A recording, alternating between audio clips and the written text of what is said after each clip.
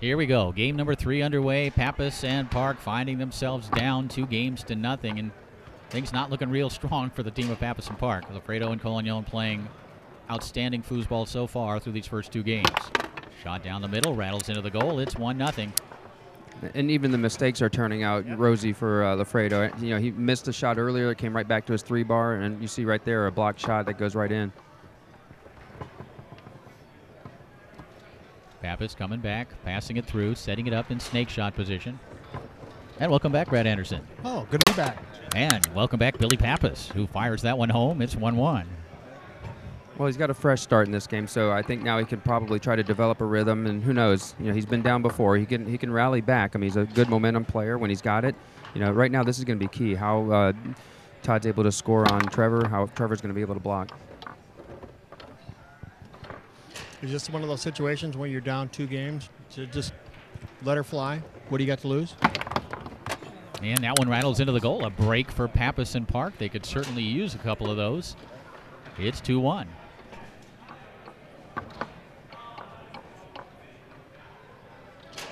Fredo coming back, setting it up. Todd has been shooting the ball very well. That continues here as he strokes home that long pull shot. It's 2 2.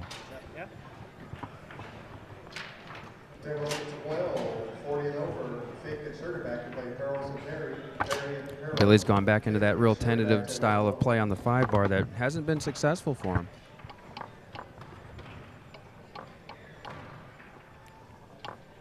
Todd brings it across, sets it up in pull shot position, and will go ahead and utilize a timeout.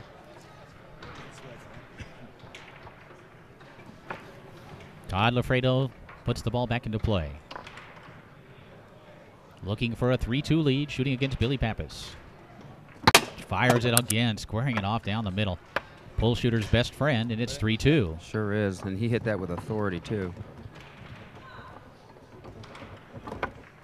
And Todd Loffredo, I mean, he's got absolutely one of the legendary pull shots, but he's been shooting the ball extremely well. It's explosive. I mean, he, is. he's he's quick. He's quick to the long. It's a solid shot. Trevor Park very quick to the long right there. It's now 3 3. Well, we saw him play in Kentucky this year as well, playing the forward position for Steve Biney, and he played extremely well. And it's like a new challenge for him. And that one rattles into the goal. It is championship point for Loffredo and Collignon. Todd Loffredo about to win a major title playing the forward position. I mean, Bill- his- Billy his- should be up front right now. Excuse me, Brad. But Todd's stroke really looks compact and really tight. Almost on that last pass, almost looked like an adjustment perhaps before the pass. No call was made by the official. Didn't matter. Back comes Trevor Park, passing it through, setting it up. And trying to go to the far side. There's Collignon to make the block. It remains 4 3. It is championship point for the team of Loffredo and Collignon.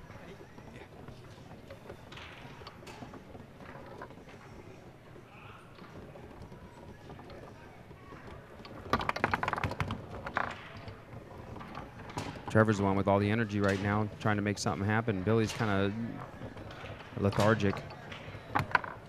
Trevor Park continuing to get the ball.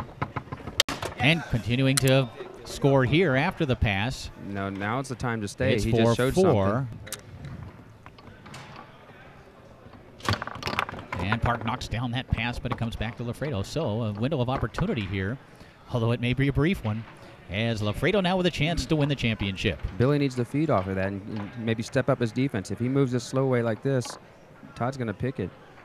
Todd Loffredo Wow. strokes home the pull shot. The 2008 Hall of Fame Classic Open doubles champions are Todd Loffredo, the forward, and Frederick Collignon, the goalie. What a performance from this team. They took it upon themselves as a challenge to put Todd Loffredo in that forward position to see if they could win a title, and they do. A terrific team. I mean, just one of the best of all time. Great job for you know. Congratulations to them. And Loffredo, you could say now that he still has it.